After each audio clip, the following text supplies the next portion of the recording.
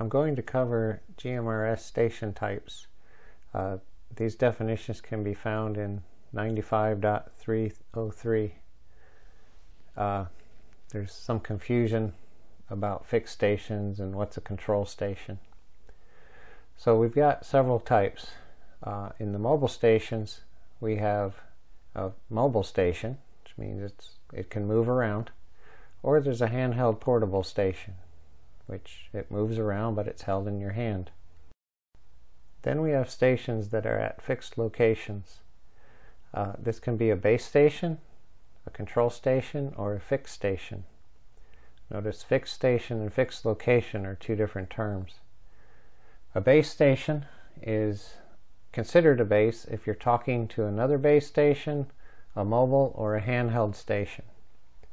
A control station is a base station that is talking through a repeater at that particular time. And then we have fixed station, which a fixed station definition is it's only talking to another fixed station. And lastly, we have a repeater station. A repeater simultaneously retransmits a received signal on another channel. These are used to increase communication distance.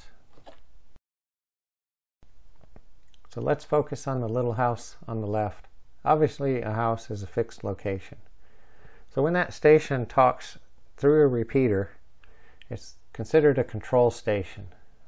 Basically, because the input signal is causing the transmitter to turn on and transmit on the other frequency, you're controlling the repeater.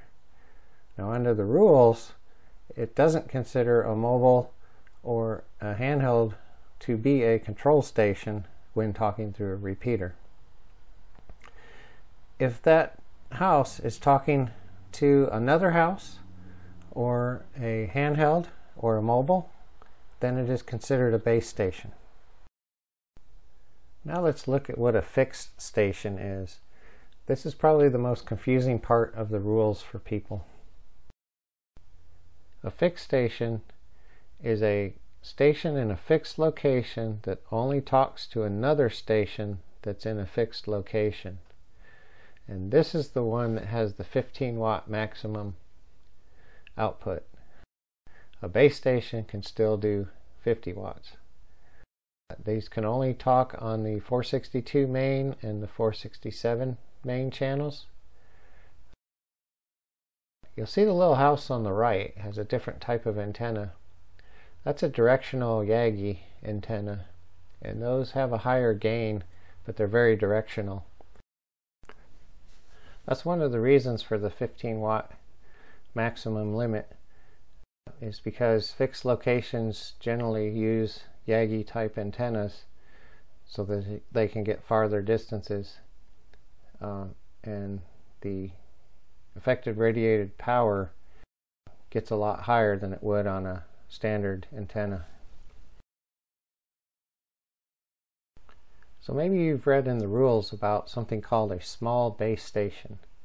If you have, you were reading the old rules, the ones before 2017. A small base station does not exist anymore. They had changed the rules around, but never took that term out, so it actually didn't mean anything.